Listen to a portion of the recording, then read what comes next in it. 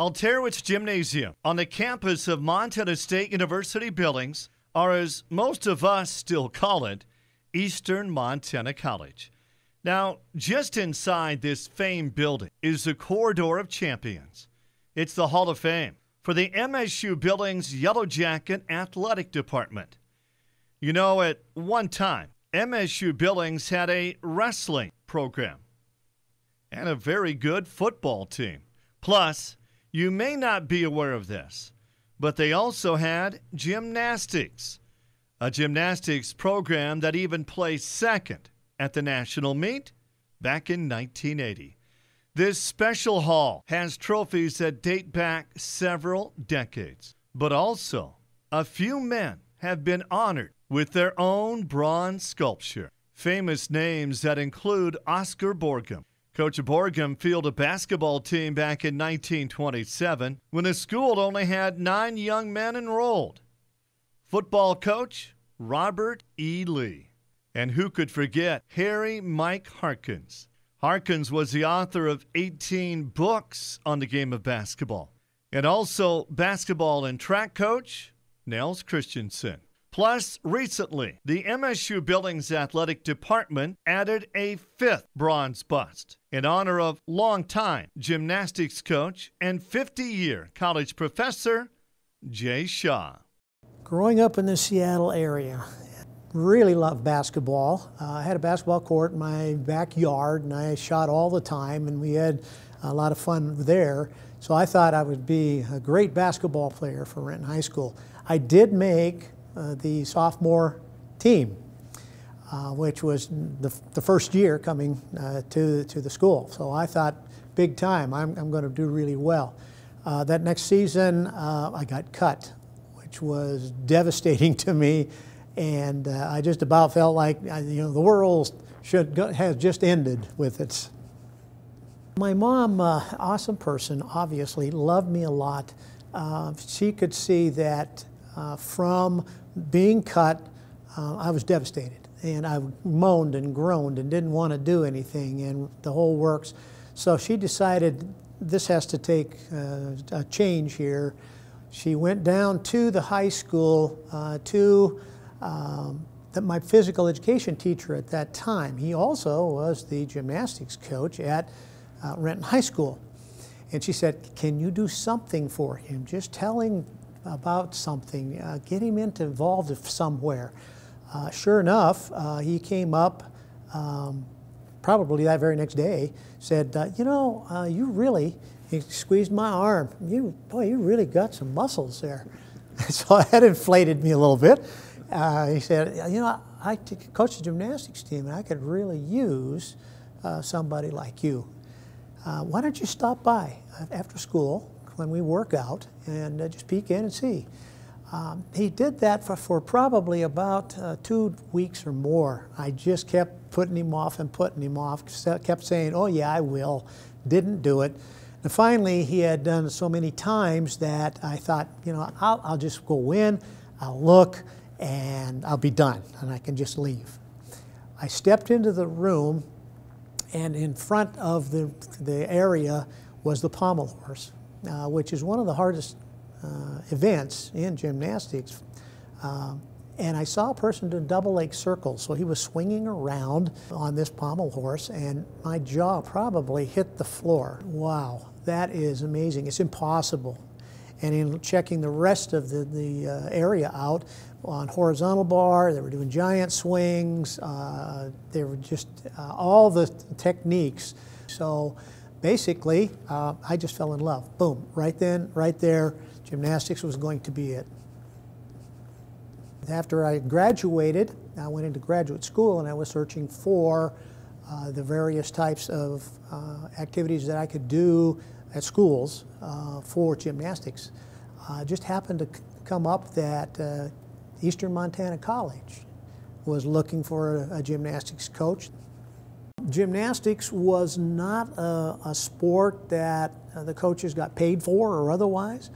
Uh, it was a sport that you loved it and you put your time in on that, but my actual uh, part of the university was I, I taught uh, various um, elements uh, in gymnastics as well as uh, first aid, as well as many other areas that I've covered over the years. Funding for the gymnastics team was, was very, very skimpy, if at all. Uh, we, I had a hard time, oftentimes, even uh, trying to figure out how I was going to get to uh, Eastern Washington or wherever we were going to have uh, various types of competitions at. So um, basically, uh, we tried to uh, build our own kind of category for making some extra money as well as uh, trying to uh, get gymnastics across the state so kids knew what that was. It was a brand new sport in Montana. Once gymnastics season was kind of over, we would go out uh, and we would get extra money from school districts and schools for putting on a presentation that was a lot of fun and that the kids loved.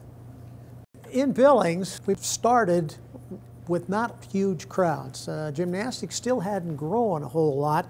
Uh, it had had a, a, coach for two years uh, that had tried to build things, and there wasn't a lot of, uh, I guess, uh, quality that, that, that anybody could see. So it was kind of skimpy on that part of it. As time went, however, and our program grew, uh, became um, nationally known uh, by a lot of the other teams across the U.S., uh, uh, our growth uh, was huge. We could actually fill up um, one full side of the, of the gym so we really did. We grew to where it was as popular or more popular as far as numbers of people involved at MSU Billings than any other team. We had the opportunity to run a qualifying meet for both men and women, uh, and this was the qualifying meet for uh, the Olympics uh, as it would go down.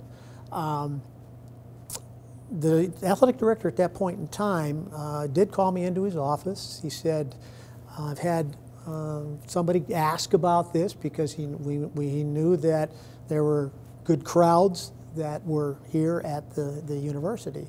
Did you want to try to run uh, championships, a national championships for the Olympic Games? And I said, well, absolutely. We want to try to get as much as we can with that. So we did run two Olympic qualifying uh, meets uh, in two different years, uh, hosted right here at Eastern Montana College. Uh, and uh, it was an awesome uh, thing for the gymnasts, for the city, for the university. the athletic director did come to me and ask about a bust for me my first response was, I, I don't think I qualify, I don't think I need that. That was really my first response in it. And uh, also, it just felt like uh, I'm not sure that I qualify for that. Uh, the athletic director, however, uh, said no. No, you do qualify for that. You, you deserve the, the bust.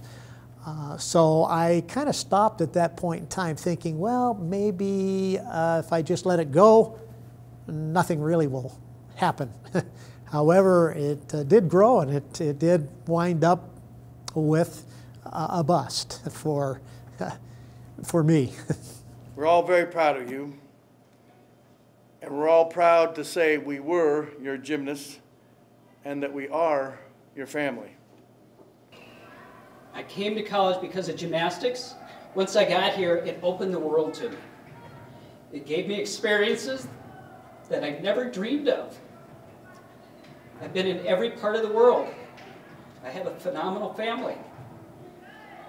And if it wasn't for you, Jay, it never would have given me that access. Uh, we, we did have a ceremony for uh, the unveiling of the bust. Thank you. Letters were sent out that it was going to happen. I didn't think too much of it in terms of numbers. I was thinking, well, okay, so we'll have some of the current people that are here. We'll, we'll have a little small get together. Get- Uh, get they'll unveil the bust, and, and that'll be pretty about soon. it. Uh, lo and behold, uh, that day came. In some cases, Um, not as many There were somewhere in the neighborhood of uh, others. What you 30 have gymnasts, old gymnasts, not the newer ones that were in the program, but the ones that really initiated things to start with, uh, to congratulate me uh, and, and pat me on the back, and I, I could not believe it. I came very close to breaking down and just crying because it was so honorable.